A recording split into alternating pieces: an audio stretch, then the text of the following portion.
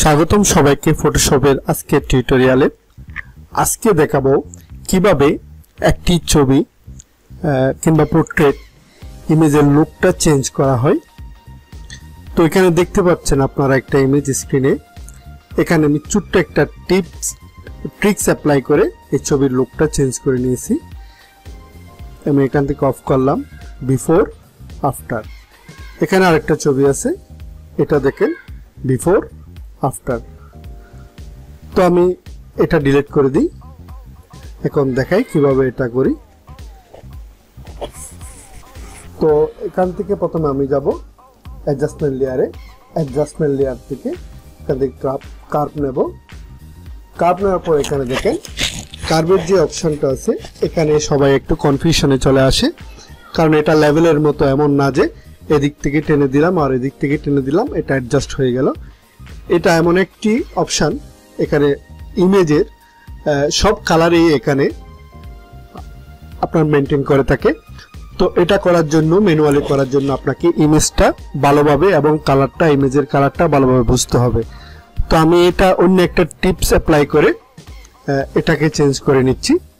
এখানে দেখেন আপনার যেখানে প্রিসেট আছে প্রিসেটে দেখেন ডিফল্ট ডিফল্টে ক্লিক করে এখান থেকে স্ট্রং কন্ট্রাস্টটা সিলেক্ট করে স্ট্রং স্ট্রং কন্ট্রাস্ট সিলেক্ট করার পরে এটা অটোমেটিকলি নিয়ে নিল। এখানে আপনার হাইলাইটটাকে এবং শেডো দুটার উপরে এটার এফেক্ট হলো।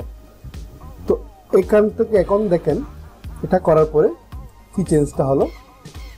এরপরে আমি ব্ল্যান্ডিং মুডে আরেকটু ব্ল্যান্ডিং মুডটা চেঞ্জ করে লিমিনিসিটি করে দেব লিমিনিসিটি অর্থ হচ্ছে চমক শাইন কিংবা গ্লো তখন লিমিনিসিটি অ্যাপ্লাই করে দিলাম ইমেজটার লুক দেখেন।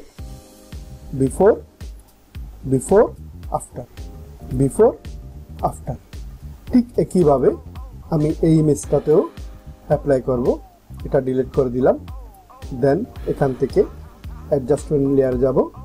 অ্যাডজাস্টমেন্ট লেয়ার থেকে কার্ভসে যাব। কার্ভস থেকে ডিফল্ট থেকে স্ট্রং কন্ট্রাস্ট সিলেক্ট করে দিলাম। দেন নর্মাল থেকে লিমিনিসিটি এবার দেখেন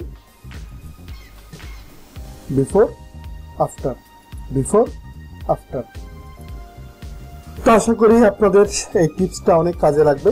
যে কোনো ইমেজের আপনার শাইনিং কিংবা গ্লো বাড়ানোর জন্য অ্যাট্রাকটিভ করার জন্য এই টিপসগুলো অ্যাপ্লাই করা যেতে পারে।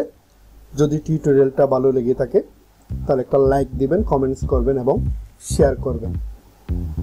আর চ্যানেলটা সাবস্ক্রাইব করে পাশে থাকা বেল আইকনটি ক্লিক করে দিবেন, যাতে নতুন নতুন ভিডিও আপলোড হওয়ার সাথে সাথে প্রথম নোটিফিকেশনটা আপনি পেয়ে যান আজকে এই পর্যন্ত, ধন্যবাদ সবাইকে। আল্লাহ হাফেজ।